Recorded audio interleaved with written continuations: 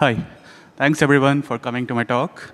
So the fun fact about Barcelona and my talk today, I wrote the code for this talk when I was on the plane to Barcelona back in March. It was just an idea I had, and I thought, OK, there's no Wi-Fi on the plane, so let me experiment with something. So I wrote the first version of the code when I was on the plane. I forgot to check it onto GitHub after I landed in Barcelona, and uh, everything went haywire after that. OK, let's talk about the details in the lunch break. So how many of you guys here do, uh, so just a brief intro about myself. Uh, I'm a member of Apache Foundation, and I committed, I'm a committed on a few projects. And uh, I've been with the Mahout project since uh, Berlin Buzzwords started back in 2009. So the Mahout founders were the founders of Berlin Buzzwords back in the day. Uh, so before we start, how many of you guys here do deep learning as part of your daily jobs using TensorFlow? Okay. So how many of you have heard of uh, Ludwig from Uber AI Labs, which they open source back in Feb this year? Okay, just one. So today's agenda is going to be like, we'll have a brief introduction, what is Ludwig, and what is the philosophy behind Ludwig, and uh, how do you plug in Ludwig into Beam pipelines, and I have a few sample demos. So what is Ludwig? It's a TensorFlow-based toolkit from Uber AI Labs, and uh, they had open sourced it very recently, I think in Feb this year, February this year, uh, which is Apache 2 licensed. And uh, definitely they're open to contributions from the community. And it's being used within Uber, uh, different parts of Uber, like Uber Eats and uh, Uber, uh, Uber Payments and a few other Uber divisions for machine learning use cases. So what is the philosophy behind Uber? So it's kind of like, you know, when you are trying to make a building, you know, you have the building blocks and uh, you, you, have, you, have the, you need the bricks to build a building, right? So most of the deep learning libraries today, like uh, TensorFlow and PyTorch, they provide you the building blocks for your building. So, but what Ludwig does is it provides you the buildings, and you can build a city out of it, city out of the buildings. And you can also build new buildings if you want. So what does that mean? So, uh, pardon my German here. Uh, so the philosophy of Ludwig is, number one, you don't need any programming experience. So that's what that means in German, programming experience needed. And uh, so much so, my sixth grader cheats on his English homework using a text classification model he built with Ludwig. Okay, so basically you don't need any zero, you don't need any coding experience, and you don't need to know deep learning at all to work with Ludwig. So the next, uh, pardon my German again it's general, generality, okay? So basically what they have is they have a uh, concept of data types, data type-based approach to deep learning model design. And you can use the same deep learning model across several different use cases. And we'll be looking at examples of that. And it's flexible. So it's easy to learn for someone who is very new to deep learning, like a sixth grader. And uh, for the more experienced and seasoned ones, you have a lot of uh, flexibility to extend the model, what they currently have. You can build your own new buildings and build your city out of it. And, uh, and you can also add new architectural models. So uh, in case they have, let's say if you want to add, uh, the new network is capsule networks from Google. So they don't have capsule networks right now in Ludwig. So if you want to add something like capsule networks, you can easily add that to the Ludwig framework using just the constructs they have. And uh, the last part of it is most deep learning models seem to be like black boxes. So the English translation of that is understandability. And uh, so most deep learning models today are black boxes. And uh, there's Ludwig provides you the visualization tools like TensorBoard, and it integrates with TensorBoard. And you can also measure the performance of a model while it's training, and you can measure the predictions. OK, so how does it all work? So the one big limitation we have with Ludwig today is it only takes CSV format, uh, CSV input format. There is uh, there is a call in the community to support TensorFlow record, uh, record formats and several other formats other than CSV. And uh, all that you need to do to train a model is you provide your training data in a CSV file. And uh, there's something called a model definition file that you need to set up. And you provide that as a YAML. And we'll be looking at an example of that. And uh, you can run this either from a command line. They have a command line interface, or they have programmatic APIs for training the models. And you can plug in the programmatic APIs into a beam transform, DoFn function, and put it in a Beam pipeline. So here's a sample YAML file. And uh, all that you need to do is specify the input features. So what are the input features that you're looking at? And what is the output feature? And what is the type of the output feature? So it's based on data types. So the data type like text or a category or a binary or any of that. So let's take a break from the slides and do a quick demo. So let's do an airline sentiment analysis. I have the Jupyter notebook, and I have some of the Ludwig APIs. So the way you install Ludwig is pip install Ludwig. That's simple. And uh, I'm using pandas data frames here. So let me run this. And uh, so this is my simple model definition file. I'm only interested in a simple feature, just for the sake of the demo. So I'm only taking the input text. And uh, my output is I want to see the sentiment, whether it's a negative sentiment or a positive or neutral, and what is the probability scores. So the way you train, uh, you take the model definition file, you define your model definition file, and you pass that to the Ludwig model. You specify that to the Ludwig model. So let me run this. And then let's look at the training data. It's in a pandas data frame. So I have a tweet. So this is tweets of airline sentiments. So I have the tweet ID, and I have the sentiment, whether it's neutral or negative or positive, and uh, the sentiment confidence, and also they have a reason why did this guy tweet that way. Okay, so once you have that, you can train your model on the training data. I'm not going to run this right now because it's going to take for a little time and it's going to burn up my laptop. I'll skip this step, number four. Let's go to number five. Yeah, and you can see the training statistics. So the loss is 0.4 and the accuracy is 0.85 and uh, the combined loss and the combined accuracy, the validation, you know, how, how, did you, how much was the training data split into training, validation, and test sets? So it provides you a lot of stuff, okay? so once you do that, you can run your you can run the inference. Next step is to run the inference. So I have a test set that I have ready. And then to run the predictions, you have your model, and then you say model.predict model.predict and pass in the test set. It takes the trained model. Oh, sorry, uh, I think uh, my model got messed up. Okay, so basically it takes a trained model and then it does predictions on that. Okay, so, so this is the intent here is to show you the uh, Ludwig APIs. So you can predict, this is the programming API. Um,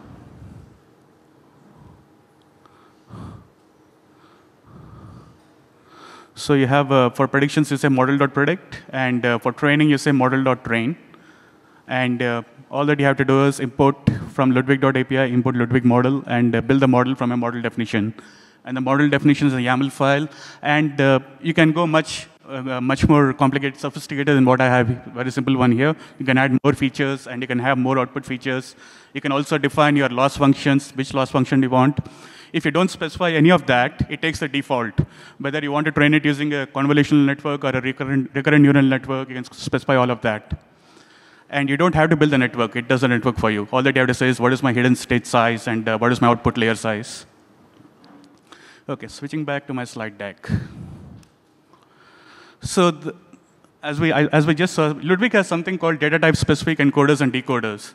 So when I pass in my CSV file with the training data, it figures out whether it's a text. You specify whether it's a text or if it's an image or um, if it's a combination of text and image. So based on that, it takes the input and then encodes the input into tensors for different data types. So text gets encoded and uh, images would get encoded. And then it does a combine. There's a combine operation, like it concatenates all the inputs and then runs a training algorithm on that, and then takes the output, converts the tensors back into outputs. So this is an example I borrowed from the Ludwig website. So, uh, just to, you can see that you have the different features, so the different data types, text, category, numerical, binary, set, sequence. And then you have a specific encoder, unique encoder for each of them. And uh, since the architecture is flexible, you can add your own custom encoders to the pipeline. And then you have in between a combiner. The combiner, the different encoders, combines that into a format to feed into a training algorithm. And then the output of the training algorithm goes into the specific decoders. And then you again get back your text features. So this kind of a flexible encoder decode, decoder architecture allows you to train different algorithms and more sophisticated models. And guess what? You never had to write a single line of code so far for any of this. All that you have to do is define your YAML file and what, what this, what's the architecture you want in your YAML file. So, uh, so great. You have your training model and you have trained your model. Now, what do you do with that? How do you put that into a beaming, beam pipeline? So let's come to beaming Ludwig models and how do you do that? So I train the model offline, and uh, if anybody has ideas of training deep learning models in a streaming fashion, please let me know. I know that you can do it with iterative streams with in Flink. I tried that, but uh, I've never seen good results with that. Um, so, so far, I've been only training my models offline. Or maybe stateful stream processing may help. Depends on how big the model and how many parameters you have in the model. So once you have trained your model offline, you can take your model and put it in an inference pipeline in streaming fashion. So folks who are from Germany or from Berlin, uh, I'm sure you know who those people are on the left. Uh, any guesses? Thomas? Oh. Voila. Okay, so that's Sophie Passmann, and that's Marina Weisband, and that's, of course, the Nazi party, AFD. So I'll be doing a live demo. We'll be ingesting the uh, tweets from uh, all these guys in a pipeline, and it, it, the tweets are all in German, by the way. And I have trained a machine translation model, which I have deployed in a remote RPC server. And from Beam, I'll be calling the RPC server to translate each of the tweets into English and displaying the output. OK. Ready. Let's see.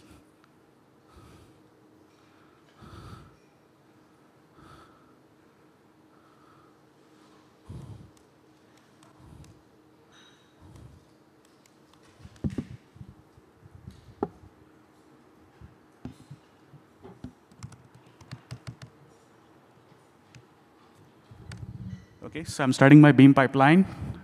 Now let's wait for the tweets from these folks to come through.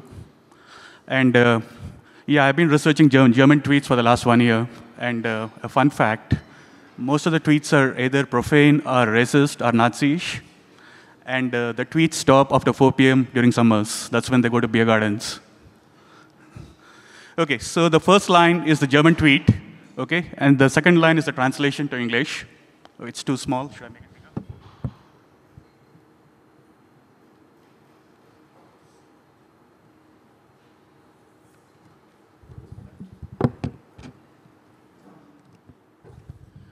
Okay, uh, I kind of, this is my own machine translation model. I compared it with uh, Google's Translate. It's almost there with Google. Uh, a different fun fact. So since most of the tweets in German are profane, you kind of see the German word fricken very often, which I'm sure folks know what that means. And that gets translated into English as F-U-Q-Q, which is the same as Google Translate.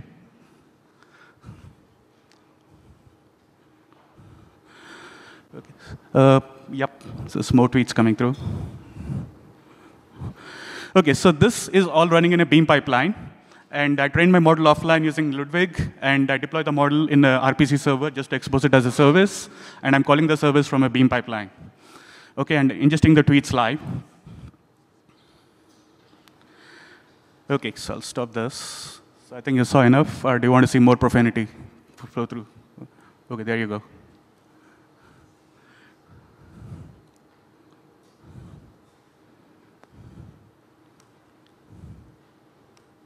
OK, so switch back. OK, so so most of the profanity is not from the two ladies on the bottom, it's from the one on the top. OK, so so this is how the code looks in a Beam inference pipeline. So I'm reading the data from a tweet stream and uh, calling my translate, uh, calling my translate function, which is actually calling a model that's been deployed remotely. So what are the limitations? So the one big limitation is Ludwig presently only supports CSV. So it would be really great if you could add TF record input format. That way you can directly plug it into a TFX pipeline, right? And uh, obviously, most deep learning models have to be trained in a batch offline. Future work is to add support for TFX records and explore integration of Ludwig and TFX, as I just said. And uh, here are some links. Questions?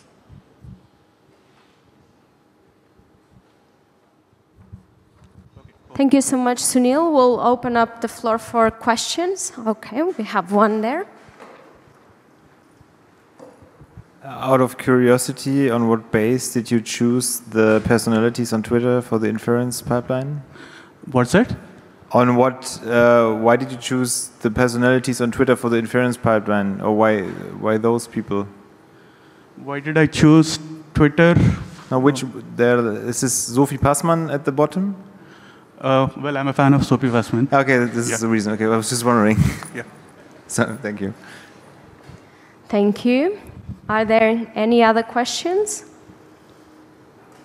All right, one second.